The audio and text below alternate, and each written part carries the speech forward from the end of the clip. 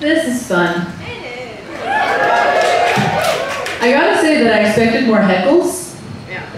We thought you would talk a little bit more shit. I think they're being nice because it's our first. First, Well, okay, my love language is talking shit. That's true. Specifically when you tell it to me. Yeah, not behind her back. That's the Giving thing. Permission. Yeah. Oh yeah, giving you permission. But I think just for me, I don't know if that's y'all's love language. It's definitely. Heckles over here. Yeah, just talk shit to Erin. Um, Oh, I don't know if that's true, but thank you. it is true, we are too nice. We should be a little bit more mean. yeah, because Boja was so good at tuning the guitar.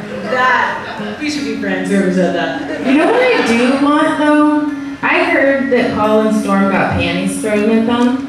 I, I, I don't, it wasn't in this crew, it was the red crew. They say that the red crew is fi- more fiery than you. How do you feel about that?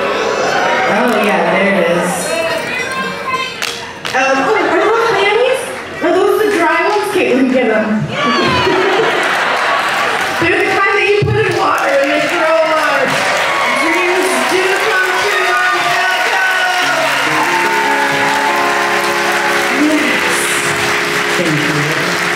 I appreciate you. Cool. Wow, I didn't even have to wait that long. Incredible. Oh, did you break it?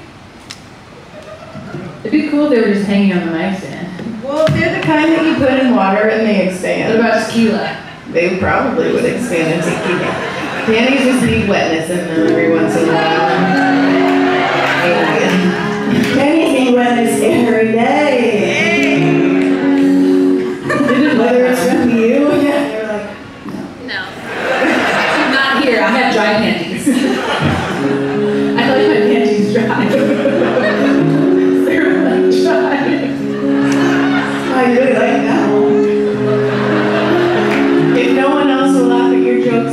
Jokes, you laugh at them